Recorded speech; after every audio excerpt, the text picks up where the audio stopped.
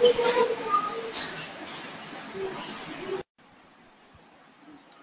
आज की हमारी इस ऑनलाइन क्लास में हम आपके साथ डिस्कस करने जा रहे हैं लूप लूप वीवी माइक्रो के अंदर हम आपके साथ डिस्कस करेंगे कि लूप का क्या इस्तेमाल होता है। क्या होता है, सर कभी कभी हम एक ही काम को कई सारे, मान लीजिए कि आपके पास दस फाइलें खुली है और आपको एक एक करके बंद करना है। तो बंद करने का कोड जो आपने आपने लिख दिया work dot close equal to true तो वो एक वर्कशीट के लिए काम करेगा ना? सारे वर्कशीट के लिए? तो आपको जितना वर्कशीट उतना बार रिपीट करना पड़ेगा। तो उसको हम लूप में डाल देते हैं। तो ऐसे ही ऐसे कोड को जिसको हमें बार बार टाइप करना है उसके लिए लूप का इस्तेमाल करते हैं। चलिए आपको हम एग्ज़ाम्पल कुछ बताते हैं जिससे आपको समझ में आएगा कि लूप का क्या यूज़ है। ठीक है? जैसे एक छोटा सा स्टिकर में बना रहा हूँ।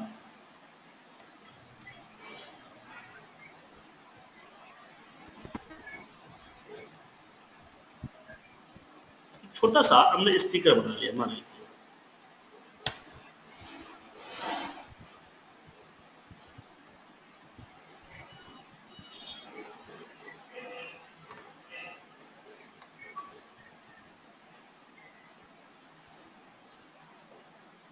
अब मुझे इसको जो है कॉपी करना है। बेसिकली क्या होता है कि हमारी रिक्वायरमेंट होती है, कभी उसको 10 10 कॉपी चाहिए होता है, इसके 15 कॉपी चाहिए होता है। तो जब मुझे इस की रिक्वायरमेंट पड़ती है उसके हिसाब से मैं इसको कॉपी पेस्ट कर लेता हूँ। राइट यस सर तो चलिए वही आपको बताते हैं कि हमें क्या होता है कि हमें ऐसा मैक होना चाहिए जब मैं रन करूँ तो जितना बार चाहूँ उतना बार एक के नीचे एक के नीचे कॉपी पेस्ट कर। तो डेवलपर में हम विजुअल बेसिक पे चलते हैं। और यहाँ इंसर्ट करते हैं मॉड्यूल और यहाँ में देते हैं सब आर आर या कॉपी जो भी आप बैकग्राउंड नेम दे दें। तो हमें क्या करना है कि यहाँ से लेके यहाँ तक को पहले सिलेक्ट करना है। मतलब ए वन से लेके सी सिक्स को सिलेक्ट करना है। तो रेंज ए वन से लेके सी सिक्स डॉट कॉपी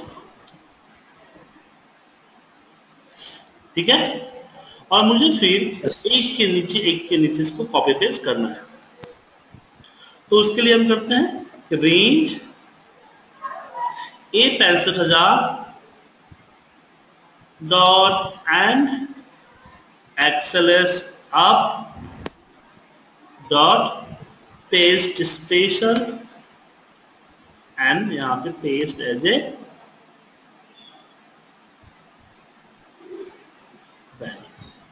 या दो सिर्फ़ स्पेशल ठीक? अब मुझे क्या है कि अगर मैं इसको एक रन करूँ, मान लीजिए मैं आर मैको को रन करता हूँ तो यहाँ रन कर रहा है राइट लेकिन मुझे एक के नीचे करना था ना, गलत हो गया है क्यों गलत हुआ? क्योंकि हमने इसमें ऑफसेट का प्रयोग नहीं किया हमें इसमें ऑफसेट का प्रयोग करना चाहिए क्या बोल रहे हैं?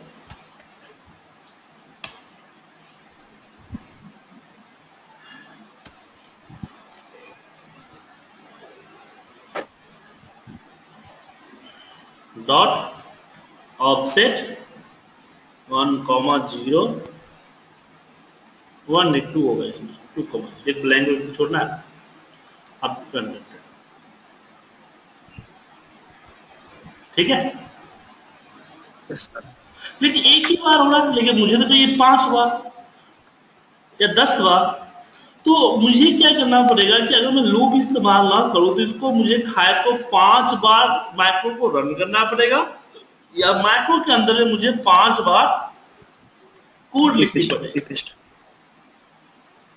तो प्रॉब्लम क्या हुआ कि अब तो डायनेमिक नहीं हुआ? डायनेमिक हुआ? नहीं हुआ। ये तो डायनेमिक नहीं हुआ। तो डायनेमिक करने के लिए क्या करेंगे इसको क्योंकि अगर सौ बार है, दो सौ बार हुआ या हज़ार बार हुआ तो काफ़ी मुश्किल हो जाएगी। तो इसके लिए हम लूप लगाएँगे कि फोर आई इक्वल टू चले वन टू फाइव और हमने यहाँ पे नेक्स्ट कर दिया आई अब देखिए क्या है।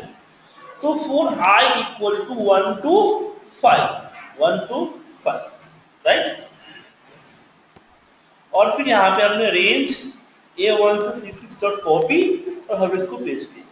तो ये फोर क्या है? देखिए लूप दो तरह के होते हैं। एक फोर एक डू और डू में भी फोर के भी दो पार्ट है। For I and for each इस आई के जगह पे हम अपने हिसाब से कुछ भी दे सकते हैं, क्योंकि ये इंटीजर यहाँ पे डालना होता है। तो इसको काउंटर कहते हैं कि लूप कितना बार चला, इसकी काउंट यहाँ पे स्टोर होती है। तो अगर पहली बार चलेगी तो आई इक्वल टू वन होगा। देखिए इसको अगर आपको देखना है तो स्टेप इनको मतलब की एफर्ट करके देखिए। अब देखिए यहाँ पे आई वन ठीक है? फिर ये परफॉर्म किया। अब नेक्स्ट चेक करेगा कि आई जो वन है वो पाँच से छोटा या नहीं है? पाँच से छोटा होगा तो फिर वापस एक बार और रन करेगा। ठीक है? अब यहाँ पे देखिए I come equal to two हो गया। इसको yes. काउंटर कहा जाता है लूप काउंटर कहा जाता है। और जितना चाहा आपने उतना हो गया। अब इसमें करना चाहते हैं कि मैं अपने हिसाब से पाँच दस पंद्रह करूँ तो यहाँ पे आप इनपुट बॉक्स का इस्तेमाल कर सकते हैं। कि इनपुट बॉक्स और यहाँ पे दे देंगे कि एंटर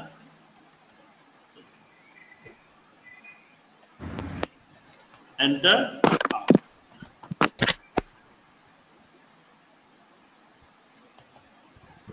कुछ भी दे दीजिए, ठीक है? तो जैसे रन होगा इनपुट बॉक्स देगा मैं यहाँ पे आठ दे दिया तो ये आठ बार रन करेगा। तो बेसिकली लूप दो तरह के होते हैं।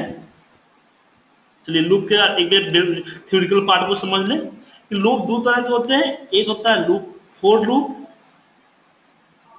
और दूसरा हमारा होता है डू लूप तो फोर लूप के भी दो पार्ट होते हैं, for I and for each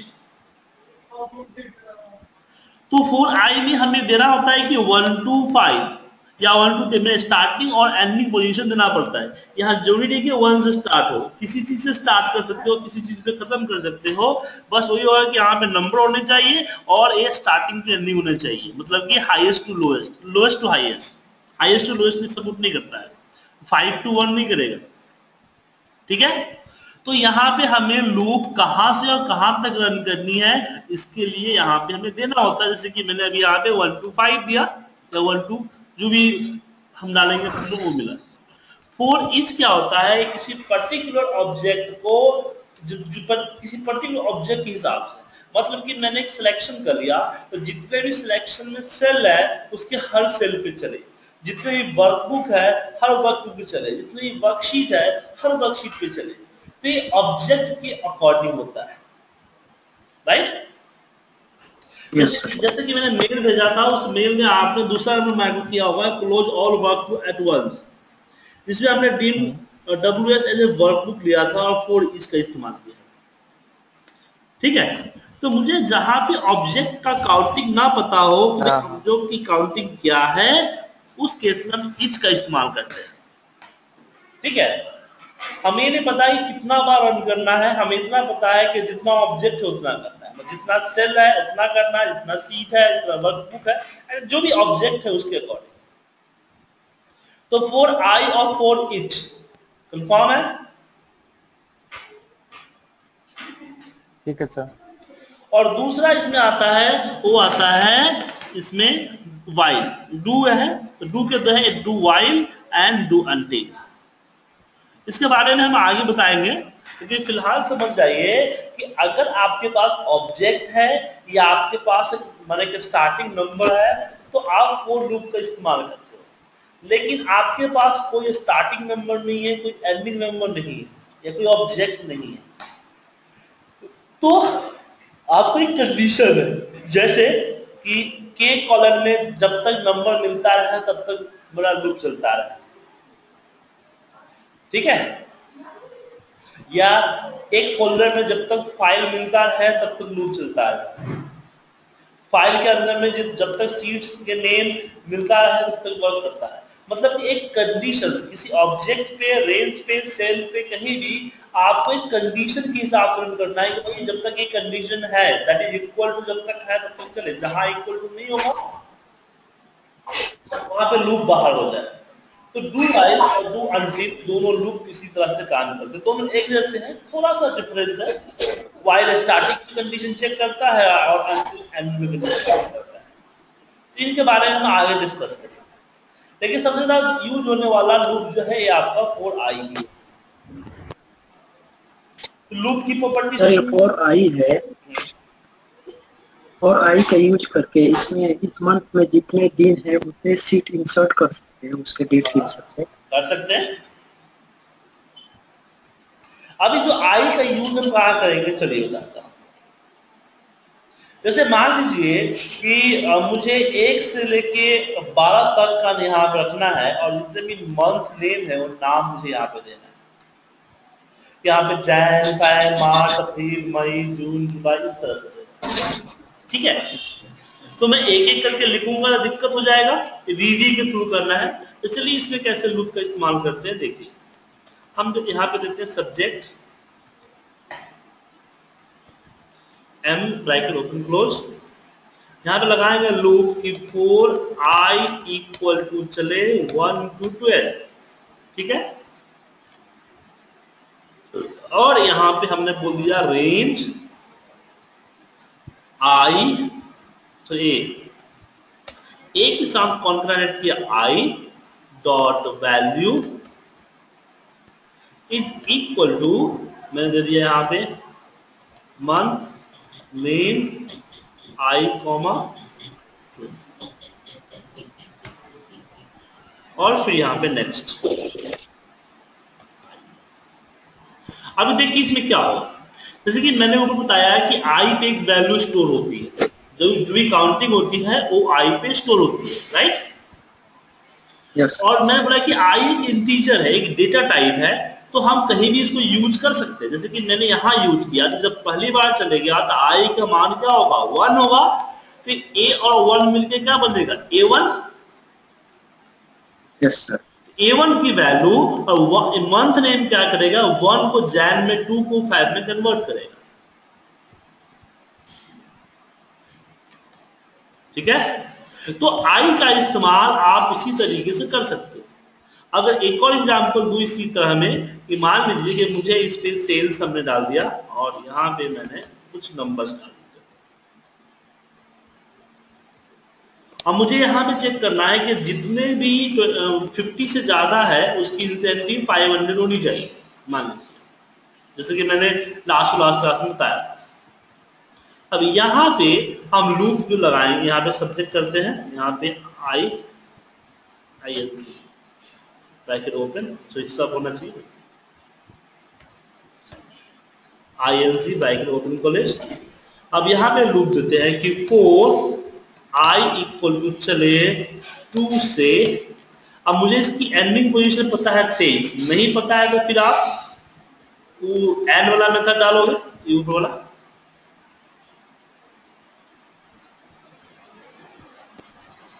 ठीक है? और यहाँ कंडीशन होगा कि इफ़ रेंज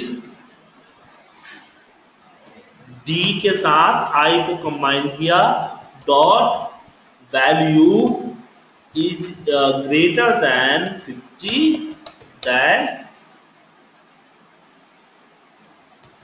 range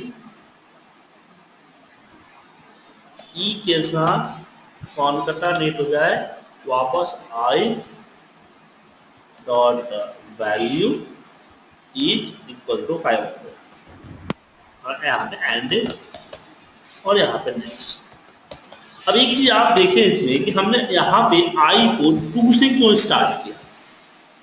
जैसे कि मैंने बताया कि आई को एज ए रो नंबर लेके हमने यहाँ पे रिज़ल्ट किए थे। ठीक है?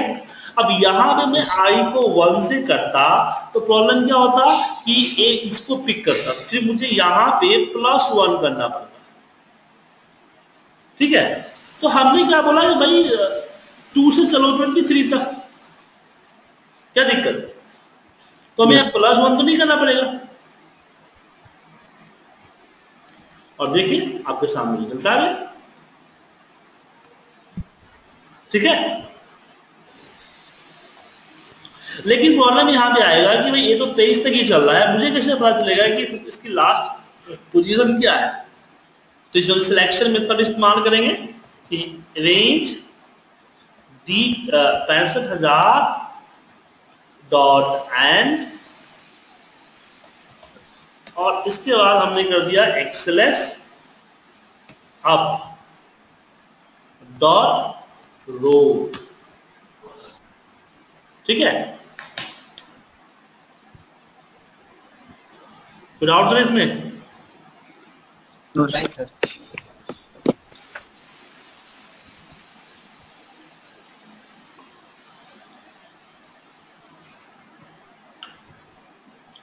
तो इससे ऑटोमेटिकली जितना ज़्यादा डेटा होगा उतना समझ में आ जाएगा उसको।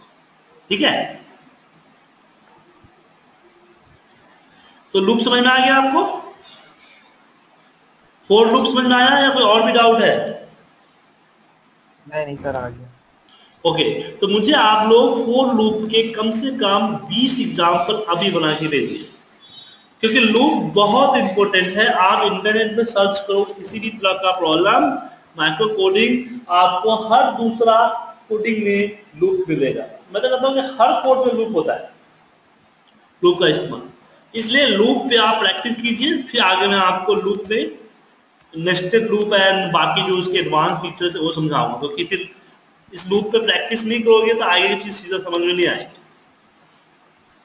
तो मुझे लूप के 20 एग्ज़ाम्पल आपको देने हैं। ठीक है सर। ठीक है? तो अभी से लग जाइए।